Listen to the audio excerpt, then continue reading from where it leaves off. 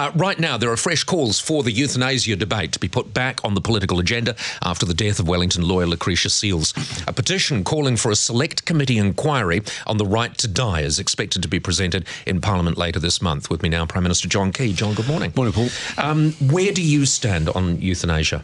Uh, personally, I've been um, reasonably supportive of it. So, the last time it was debated in our Parliament, Peter Brown, uh, who was at that stage with New Zealand First, uh, put up a bill and I voted for it to go to the select committee committee. So that was the one that lost. It I think just 50, lost, yeah, 58 60 or 59 yeah, 60. Yeah. yeah. So obviously, with this petition being presented before the end of this yeah. month, um, do you imagine that the best place for this to be handled is at select committee? It could be, but uh, um, I'd make this sort of point. I, I don't think that, that, well, I can tell you now, the government won't put it on the agenda as a bill in its own right because it's a conscience issue.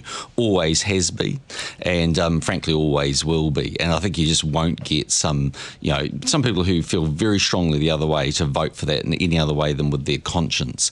So, in terms of a select committee, the only point I would make there is that they could well um, consider it, and Justice and Electorate, for instance, could consider it. Um, they would need the support of um, the caucuses of different um, political mm, parties, mm, mm. and some have varying different views. The only point would be is if they did go through that discussion and they had that inquiry, they could hear submissions. But where does well, that lead surely them? Is, I suppose. Well, but that's surely valuable, isn't it? I mean, this is the this is the issue.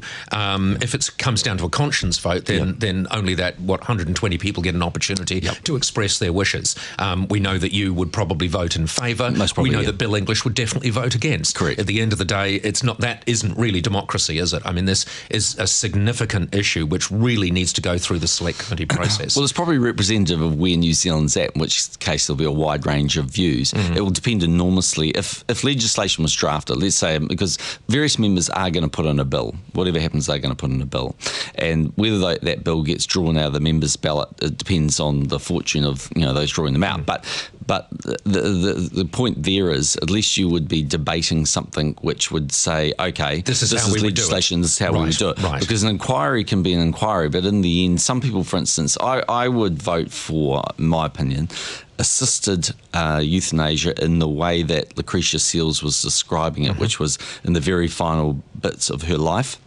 with her loved one making that call, uh, even though she didn't specify actually under what basis he would make that call. Um, for instance, there was a bill drafted some time ago that Labor had in the ballot that I wouldn't have voted for. It was, this is much, Street's bill. Well, it was much broader from what I could see yeah. reading it. Yeah, and that is the issue, isn't it? It's how do you it's how do you allow it in the cases where it should be allowed, but protect people yeah. from coercion and things like that. Yeah, it's a very delicate issue. I tell you what, in, in terms of nurses and doctors, a lot of doctors, certainly in the palliative palliative care area feel very strongly opposed to this. Mm-hmm. and the reason is they take an oath to keep people alive. And so essentially. It runs contrary to that. Yeah, there's quite a bit of difference between assisting someone with all the pain relief in the world, but them actually naturally passing away. In other words, not keeping them alive vis a vis actually assisting them.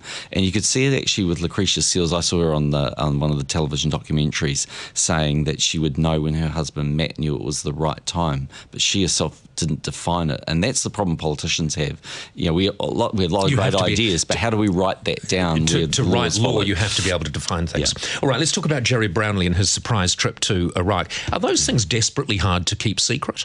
Um, yeah, it can be a little bit. Uh, I mean, I'm going to go sometime this year, and it's not necessarily straightforward. I mean, I'd like to take the media with me, um, but the question is whether I'll be allowed to, able to. I mean, I, I think I should be able to. But All right, so, that, so then it's very, very hard to keep it secret, isn't it? But still, you it would need to be secret. You'd need to keep it as quiet as possible. Yeah, and generally the media is pretty good at keeping a bond of secrecy. I mean, I went off to um, Bamiyan and Kabul when we were in mm. Afghanistan, and um, the media came with me for the most part. It was very difficult to get them all in. It caused lots of problems.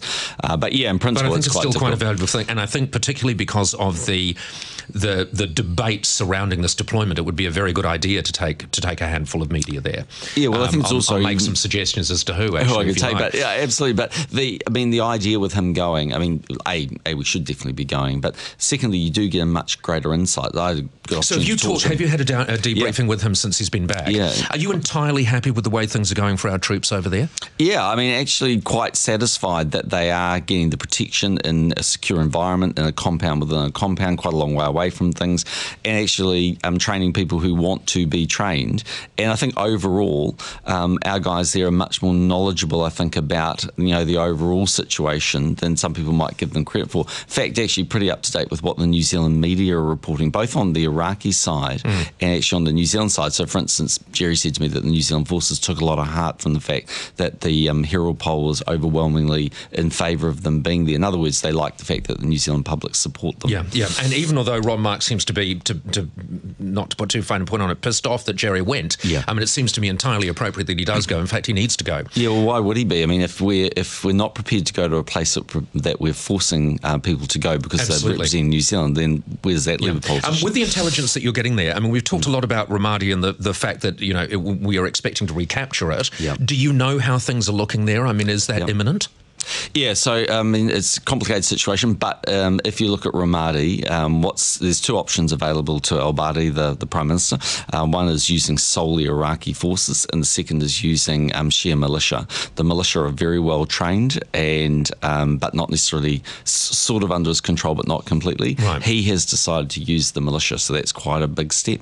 Obviously backed up by the Iraqi forces. So on the back of all of that, the, the probability of them retaking Ramadi would be quite high. I would have thought. And in the short term rather than long term. I would have thought so. Well, that's what right. he's been saying publicly, but let's see. Just very quickly, Maggie Barry um, really stepped on your toes, didn't she, during the week? Well, Moonbeam's paws, really. She, more, uh, well, yes. Oh, God, we have to talk about that name. Uh, um, what, Moonbeam? She suggested, Moonbeam's much loved, actually. Well, it's not just Moonbeam, is it? It's male. Moonbeam, Smoky, Fluffy, Key. Key, yep, for all good reasons. Is that an entirely appropriate name Moonbeam, for a Prime Minister's cat? Yeah, okay. Well, it was because the kids were 10 and 8 or something. Stephie got to call them Are you blaming your children well, this? Well, it's true. Stephie got to call them Moonbeam. Max got to call them Smoky. Brony got to call them Fluffy. And I wasn't allowed a name. So there you go. So do you literally walk around know. your house shouting out Moonbeam, Smuffy, uh, Smoky, Fluffy, Key? What do you think?